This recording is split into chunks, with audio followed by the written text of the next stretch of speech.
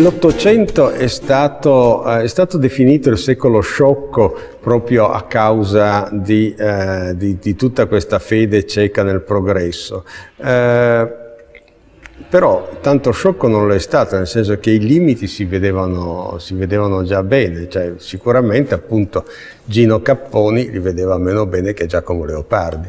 Leopardi non è antiprogressista nel senso che non è Monaldo, cioè Monaldo era davvero un conservatore, un sanfedista, eccetera. Lui no. Non c'è una presa di distanza dalla scienza, da quella scienza che vuol solo approfittare dei portati utilitaristici e non vuole approfondire la ricerca. Quello che lui non sopportava erano le fantasie progressiste, il progressismo fatto a basso, a basso costo. Per esempio, quando nella paglionia Marchese Gino Capponi comincia a dire sì, sì, adesso andrà bene tutto quanto, figurati, mi sono sbagliato, hai ragione, ci sarà un progresso fantastico e comincia a dire che ci saranno i pini che suderanno il latte e dei nuovi paioli orneranno le nostre cucine, che poi appunto è una specie di profezia del consumismo, eccetera, devo dire, guarda, questo non è il progresso, ammesso e non concesso che un progresso di questo genere si realizzi. Leopardi non è contro il progresso in assoluto,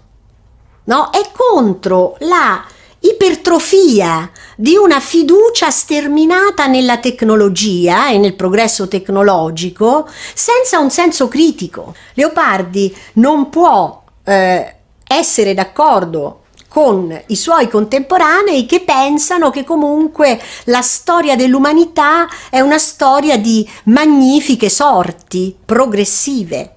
Nel futuro ci sarà sicuramente un miglioramento rispetto al passato, ma nessuno lo dice.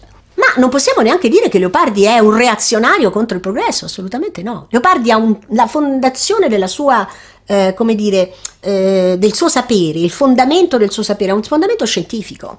Leopardi non può essere contro il progresso, ma è contro l'ipertrofia di una, di, di una, tecnologia dissennata che non tiene conto delle risorse reali. In questo senso Leopardi addirittura è stato eh, considerato come un antesignano delle eh, posizioni dei Verdi. C'è una consapevolezza dei rischi che sono insiti all'interno di ogni, come dire, passo che si fa in avanti, poi si fa in avanti, noi dobbiamo avere il senso critico che ci aiuta a discernere la qualità oltre che la quantità. Egli intravede che l'uomo nel momento stesso in cui ha cominciato a trattare la natura come oggetto, a trasformarla come eh, elemento di eh, tecnica, quindi a porsi di fronte alla natura mh, appropriandosene e intendendo vanamente distruggerla, nel momento stesso in cui insomma si dimentica della domanda sulla fragilità della propria esistenza, si produce un destino che è irreversibile.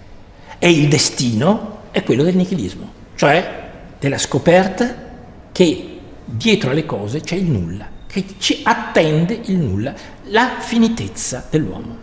L'uomo, nel momento in cui fonda la sua esistenza sulla tecnica, non pensa più alla sua finitezza.